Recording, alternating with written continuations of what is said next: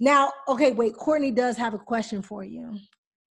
I'm calling you Big Daddy Kane. Yeah, I, am just gonna call you Kane. That's cool. I mean, that's everybody else call me, man. My man.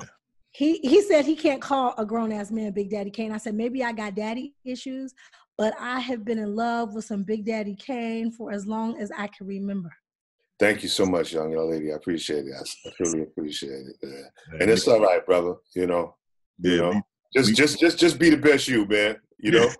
hey man, you legendary in my eyes, man, bro. I've man, me and my cousin, we used to rock out to you, bro. So I mean, if if he knows that I'm talking to you, I can't wait to tell him. That's love, man. Uh, well, I appreciate you being here. The first thing I did was I had to call my man. Like as soon as I got the okay that you were gonna be on the show, I hit him. And he said, "Don't get fucked up." I said, "I'm sorry, it's Big Daddy Kane. I love you. I'm trying to but you made me love chocolate." Oh, that's cool. Cool. so, see there, see there, Courtney, I'm on your side. when did you fall in love with hip hop? Um, I fell in love with hip hop. I would say probably um, uh, uh, I think maybe either seventy seven or seventy nine. I can't remember. Whatever year um, Bounce Rock Skate Roll came out from Vaughan Mason. You know, it was like I was already hearing it. You know, there was a park jams everybody go to, and you know we would go to see spots. But that particular year, that that that park jam was just you know monumental. It was like uh, one of those things where it was something new. You know, because I was so used to everybody getting on the mic, watching them rhyme to "Love Is the Message" or um, watching them rhyme to that song "Bra." And then here came this new groove, and then I was hearing different stuff other than the rhymes I was hearing, and like you know, um, the mid to um, late '70s, like anywhere between like um '75 to um 79 you know i was hearing different rhymes then you know and it was just like you know this is this is something else and i just fell in love then I love it. Hip hop then and hip hop now are two totally different things, and you were definitely one of the goats of hip hop. How do you feel now that the gatekeepers of hip hop are basically strippers? you know, um, i am one of the type of people that always respect the changing of the guard. So um, there's something that a younger generation likes and relates to that may not be my cup of tea, but um, you know, um, I, you know, I, I, I, respect, you know, um, younger cats, you know, um, being into what they're into.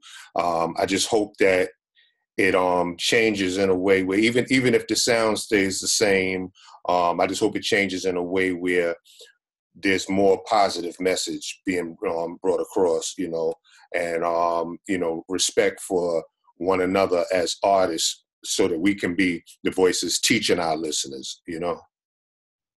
That's something that those boys don't do anymore. MCs used to come back and grab onto the youth and teach the youth. If you could talk to the young rappers of today, what kind of lesson would you give them about what's missing in the community? Um, well, I mean, in the com- well, you talking about in the community, or you talking about in the rap game? In the rap game, in the in the community of hip hop. Okay. Um, well, basically, I would tell you know um, the young artists and the young MCs that um, what they have to um, really understand is like you know hip hop today is really based on being an artist in the same fashion as R&B, pop, country, rock and roll. And it's like, but you have hip hop fans. Mm-hmm. And the last thing you want is like, you know, a hip hop fan to be saying, uh, like, um, let's just say, um, Brother Courtney is a new artist, you know, um, and his rap name is Court Dog. You want people to say, yo, you heard that new joint from Court Dog? Oh man, that shit is crazy. Yeah, man, Mustard did the beat. Okay, then that means that Court Dog is irrelevant. Mustard is the star. He's the important one. You know? Yeah. Now if he says, yo, you heard that new Court Dog joint? Yo, this dude said such and such and such. Now you're the star because your lyrics are what's most important. That's what's grabbing the people as opposed to the music. It's like you know, in in in in in, in my era, it was you know the artist's lyrics that appeal to the people. That's what you were repeating. That's when you would constantly hit the rewind button over and over. Yo, did you hear that? Nah, nah I don't think you heard it. Listen one more time. Right. You know. So I mean, I think that that's the thing that really builds the artist up. You know, when they just like you just because of the beat, then you're really just making the producer a star, not you. Absolutely. And DJs aren't DJs anymore. Like DJ Akademiks, he's not a DJ, but he's made his platform off of hip hop. How do you feel I mean, about that? You know, I, I, I got Serato, you know, I got Serato, you know, I, I, I mean, I, I call myself DJ Dark Gable, you know, and I, I'm, I'm, I'm, I'm nice with them blends. I be killing them. Mm-hmm. Only difference is I only do it for myself. I don't do it at parties because I'm not going. That's why one thing I respect about Kid Capri, Jazzy Jeff, and DJ Scratch, and so many others. You know, they can go on stage um, and play whatever the audience want to hear. Yeah. See, with me, you know, ain't no way in hell. I'm not playing nothing I don't want to listen to. That's why I can never really be a DJ. You know. I love it. Court, you want to go? Uh, yeah, I get man. Well, first of all, how proud are you of Jay Z? And when you first met him, did you ever think that he would be what he is now? When I first met him, no, because I had uh, I had Jay Z, I had Positive K, and I had Sauce Money, and um, it was like Sauce was just so cocky and arrogant and reminded me of myself. And Paz, you know, Paz had already had records out actually before I did, you know, um, like he had independent songs out. So he understood the rap game. He toured with Light. So he understood the rap game. He was more seasoned. So I really thought that it would be one of them. You know, Jay was, you know, just um, you know, my favorite, you know. But um, you know, he was a real, you know, quiet dude. So I honestly didn't see it being what it is today. But I am very, very proud of him because, you know, there's so many, uh, I mean, so many people that we took him to you know, I mean, I even took him to um, you know, um, one lady I was messing with to try to get him a deal, and she wouldn't do it. And now look at him. I guarantee you, all of them wish they signed him now. Was that when he was rapping fast, and then he changed? Yeah, yeah. Mm-hmm. Wow. You know, Do It All was on the show right before you. And Do It All showed us the booth that you were rapping in. He said you came and when he was a young kid, he used to write down your lyrics so that he could practice being an MC himself. Oh yeah, do it all. Is, do it all is dope. I love him. I do too, but he gave you big ups right before you got on. He said, "Make sure you tell Kane I said hello and tell him thank you." He graced his booth right here. He said he'll never forget it. Yeah, yeah. I can't remember what it was for. Um, but yeah, I remember uh, we came through and um, um, um, did something at his studio. Yeah you know, for me, um, let me ask you this question. Let me see, and I'm, I'm trying to figure out how to exactly word it. Around your time when you was like in your prime prime, Hammer came out and like people like a lot of the MCs was like, oh, what he doing? He doing all this dancing and stuff like that. But you was able to go and do your set, do your show, and still pull off the dance moves, and then nobody say nothing because they respected you because you came. Like, how, how, how I don't know uh, what exactly the question is, but like how how was now, you? You already answered it. Okay. You Big Daddy Kane didn't make songs; he made anthems. Right. I still live by those anthems. You think so? Thank I know. You. Yes. It wasn't just you know how people would come out and they make summer songs, and then after the summer you forget that the song ever existed. That's something I always credited Naughty for I always called them the king of the anthems. I thought that no one made, you know, anthem songs like Naughty by Nature. Like they were just, they just mastered that, you know. I have a five year old. This morning, she was in the kitchen talking about, I go to work. uh, done. so, Man, that was my cousin joint right there. I just need to know the secret. You know what I'm saying? Big I'm up to Teddy Riley because that was his idea for the hook. Was it? Yeah, yeah. Go ahead, Ted. Uh, okay, so I was a little girl when you came out, and I have been in love with you my whole entire life. Before you started getting into the music industry, were you still a sex symbol? Like in school and stuff? Nah, nah, I talk about that all the time, you know. I mean, it was type of stuff where cats would come from other schools, you know, like Westinghouse, Brooklyn Tech, Eastern District, um, boys and girls, they come up to um, my high school, Sarah J. Hale, um, wanting to battle. I come outside because I was with a crew then called the Debonair Three. It was me and a brother named Understanding and AB. And like lots of times I would battle like three or four people by myself, you know. And at the end of the battle, you know, all the dudes in school was like, Kane, yo, you killed them. Yo, you rep for the school. Yo, you did that thing. The girls, you know, they'd be like, so AB, where you going, boo? You know, that, they wasn't thinking about my ass, you know, for real. You know, that that, that came like really after records. So, how did you handle all the attention so quick? Like looking back at it now, you're a rock star. Uh, if you say so, you know. Humble and sweet. Come on, man. You just you Why make being it so work. humble, man. You, you Big Daddy Kane, man. Nah, I mean, you know, I'm hey, I'm I'm I'm just me, man. You know, um everything that um I've done, I've always done for the love of music, you know, um and my passion as an MC, you know, um just trying to show people just how lyrical I am, just trying to show people stuff that I've seen around the world so that they want to, you know, do something with their life and be inspired. Um, you know, just trying to show people um the, a broader spectrum of music because you know when you talk about hip hop, you can talk about um, where um, rapping started, um, where DJing started, but there is no origin of the music because it all comes from so many different genres.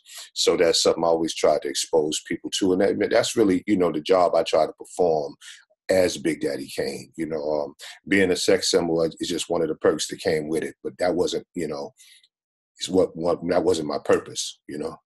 Really? So that wasn't something that was thought of in a in a conference room or anything? No, no, no, no. Like I said, it was just something that just came with the job, you know. But but trust me, I rode the hell out of it though. Hey, how close? Um, I, I, I saw an interview you did um, back in the day. I think it might have been with TV One, and you were talking about um, when when Bad Boy first started, and you were saying that you were like you could have been like real close to like signing with them or something like that.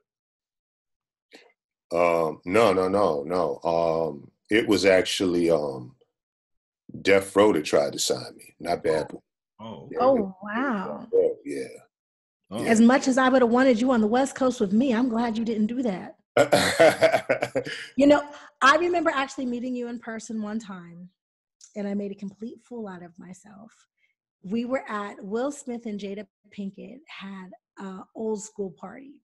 oh, Jada's birthday party. Yes, and you were mm-hmm. walking in, and I damn near jumped off the wall and on you. And I said, Big Daddy Kane, I done loved you my whole life. And you looked at me and you gave me a hug and you patted me on my head. But I just want to say thank you because you were so sweet and so kind. I never forgot it. And that's been like what, 20 something years ago? Oh yeah. Yeah. So, Wow. Yeah.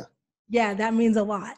Um, the Grammy Board classifications of hip hop is in some hot water right now, becoming of album or record of the year. How do you feel about that? Becoming the what? way, the, the way the Grammys classified hip hop. Um, you know, let me let me tell you my honest opinion. Mhm. Um, that's their thing. You know, that's a system that they developed um, for who they considered artists and what they consider real music, and that's their thing. You know, back in the days, um, we had the Soul Train Awards that was so strong that so many pop artists like Mariah Carey and many others wanted to come and be a part of that, Mhm. but we didn't support what we had. That's real talk. Because it's like, you know, to me, if that's their thing, let them have their thing. We need to have our thing. You know what I'm saying? We need to get um, the Quincy Jones, um, Patti LaBelle, um, Jay Z, you know, um, Dr. Dre, you know, um, st- maybe even Stevie Wonder. Um, we need to get our own committee together that's judging these songs and have our own awards. You know, what I'm saying where, where that, that represent us, That's what we need instead of worrying about what they're doing. That's their thing. Let them have it. Let's create our own. And we, the people, have to support it because the Soul Train Awards was real strong, where all those pop artists wanted to be a part of that. You know what I'm saying? So we need to have. Absolutely. So, uh, what do you feel about Puffy's 365 ultimatum to boycott the Grammys? Um, I mean, go for it. I mean, go for it. I mean, at, at the end of the day, I think that having our own is just so much better because um, we know our music. You know what I'm saying? A lot of people, it's like, you know, it's like I can't be mad at someone that don't understand hip hop or don't understand R&B. You know what I'm saying? I might be mad at the judgment you make, but you don't know it. It's like um, I don't know. You remember there was an old D.L. Hughley stand up when he was saying that his teacher was like um, Beethoven was classic. Do you remember what year he wrote his fifth century? And he was like, "Bitch, I sure don't, but I can tell you what year Parliament made flashlight." You know, yeah, and that's it's real like that. It's just real like that. That is true. What you gonna say, Court? I, well, you know what, man?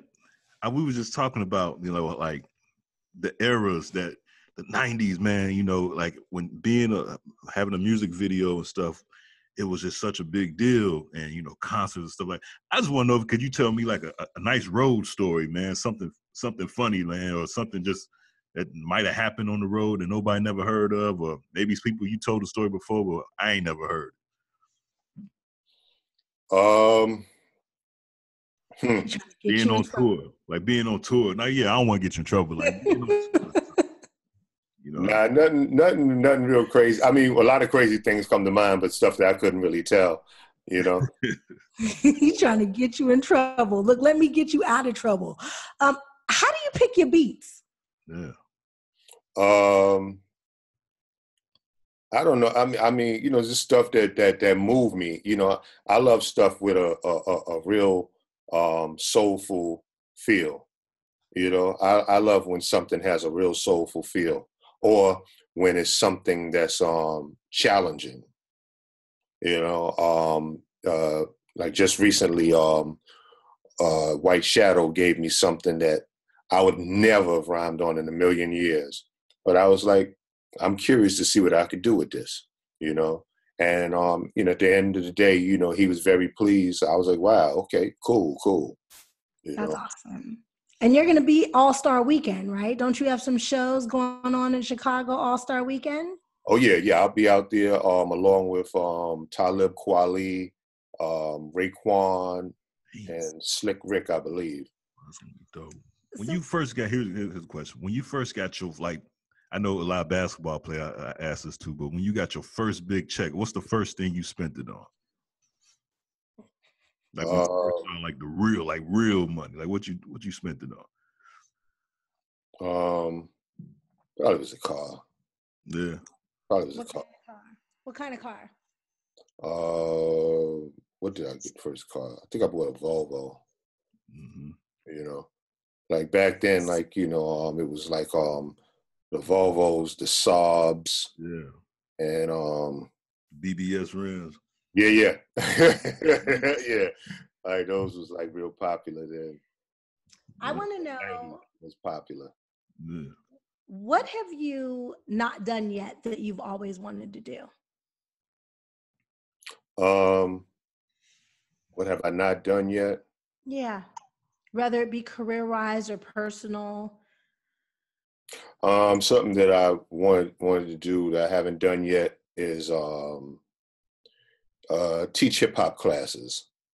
Like um, I've done it. Um, I believe once or no, I think twice. I believe for Ninth Wonder um, at Central University, and I, I've done it at a college in Greensboro as well. But it's something that I would like to make a continuous thing. You know, um, just really just talking about hip hop in an art form. You know, because I just feel like there's so many biased opinions by a lot of people because you know it's important that um, you know Bronx get credit for this, um, Queens get credit for that, Brooklyn get credit for that. Whereas you know really it's just in a whole Brooklyn, Queens, Bronx, wherever you're from. Um, just teaching people, you know, what the art form is about and showing them the correct way, but in a fun way where it's interesting to them that they feel challenged, that they want to, you know, try to do it that way. That's amazing. So Professor Kane. Yeah. Is that something we have to I got a nice ring. I got a nice ring. If a, if an artist like run up on you trying to like like I know the demo tapes is done now, but like like when artists try to get at you, like what do you look what do you look for if like if you want if you're interested in them? Like what do they have to have? Like what like catches your eye in an artist? Um, I mean, at this point in time, because it's like you know, I'm so disconnected, you know, from the younger generation. Yeah. Um, at this point in time, it would be that originality and that hunger. Right. Those would be the main things. Someone that's real hungry, that really wants it, and someone that's original and like, I, you know, like they know they're original. Yeah. Therefore, you know, even though they might be, you know, someone may steer them to try to make them sound like everyone else, they know a way of, you know, escaping that box and showcasing their originality. Yeah. You talk about being disconnected. I'm sorry, Courtney. Is there anybody that you would want to collaborate with that's out now? Um, J. Cole. J. Cole is probably like my Yeah. favorite of the new generation. Um, Yeah. I would love to work with J. Cole. Um, and um, I've, I've had the opportunity, I believe, like twice to work with Rapsody. She's another one of my favorites. Um, uh, Logic, um, uh, Kendrick Lamar, you know. Yeah. Wordsmiths. Yeah. Yeah. I'm sorry, Courtney. What were you going to ask him? It, it fell off my go ahead. It'll come back to me. Okay. Are you interested in doing some more acting? Absolutely. I mean, that's what I've really been um, uh, focusing on. Um, at the at the present time, I'm um, I'm filming a documentary, and um, uh, we know we just started a film company, and um, we're gonna um, we, we we're, we're trying to shop this um, um, um biopic um right now at the moment as well at the moment as well. But right now, I'm filming this documentary, and um, yeah, acting. Yeah, I'd like to get you know back into that a little more too. Can you tell us about the documentary at all? Oh yeah, yeah, yeah.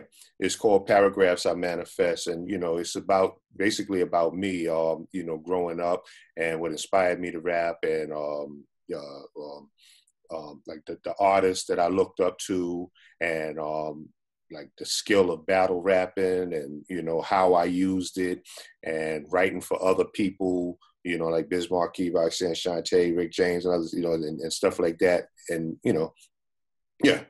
You said the paragraphs of manifest. Manifest. Paragraphs I manifest. That's a that's a line from Ain't No Half Stepping. Okay, so manifestation is huge with me. Sits huge with me, and I'd be hitting Courtney over the head with it. Um, do you feel like you've manifested your whole life? No, No. no, no. I don't think so. I think that um, I think that there's more um to be told because um things are just starting to really come around. You know, it's like one of those situations where um uh like let's just say that a guy um breaks up with a girl because she's not exciting and she's not a dime and then he gets with a dime and she don't really got time for him. She not into nothing he's into. He doesn't like anything that she does. They're just you know not, not compatible in any way shape or form and it's going sour. And then that's when he realizes damn. Yeah. i should have stayed with you know the queen that i had Word. you know? And i feel like that's what's happening in life now you know um the mistakes that have been made in hip hop. Um i think that it's it's at a point now where people are starting to like really say like okay how can we fix this? You know? Yeah. and um so therefore i think that no my story is not over because i i feel like i can be a part of the solution. And when i say that i don't mean as an artist. I don't mean as an artist. As a gatekeeper. I already did that. And I had fun doing it. I mean, you know, um, you know, as a supervisor or, or teacher or whatever word you want to use. Professor. I like professor. Yeah, yeah, yeah. professor, your word. There you go. Show you that. hey, um, um, I don't mean to bring the bring it bring the show down, but I do got to ask you this. Um, Jay Z has always said he's the Michael Jordan of hip hop. So if that's true, then that means you got to be Dr. J. But let me ask you this. Uh, Thank you, brother. Let me ask you this: rappers, basket rappers, and basketball players, basketball players, and rappers. What do you think? How did you feel about the loss of Kobe Bryant? Um, I mean, I was just um on Instagram and I saw a post that said, "No, not Kobe." So I just Googled it, and when I saw what happened, like I was really in a state of shock. You know, I was like really in a state of shock, like, wow, this is unreal, you know, because um, this was a young brother and, you know, one of the greats, you know. Um, I probably would have him in my top five, you know, I mean, one of the greats in the NBA and young, man, you know, and, um, you know, watching him grow through the NBA to the person that he became, you know, I thought was a beautiful thing, man. I, I had the opportunity to meet the brother once, and you know, it was crazy because they told me that you know he was cocky and arrogant and this and that and yada yada. So when I met him, you know, it was like you know I was a little standoffish, and he was like, "Yeah, my man, such and such." Um, had played some of your stuff for me. Um, I used to tell him that I thought, you know, such and such was the greatest rapper, and he was like, "Yo, you need to hear Big Daddy Kane." He played some of your stuff. And I was like, "Yo," and so I started buying your stuff, man. And I think, and I was just like, "Wow," you know, like amazed. So it's like I had nothing but the utmost respect for this young brother. So to hear that, you know, it really hit the heart, you know. Yeah. And then like an hour later, to find about, you know, his daughter, you know, like that's when it was like, you know, um, I put up a rest in peace post, logged off of Instagram, went and grabbed my seven year old, and I just hugged him for about 10 minutes straight, man. You know, I just hugged him for about 10 minutes straight.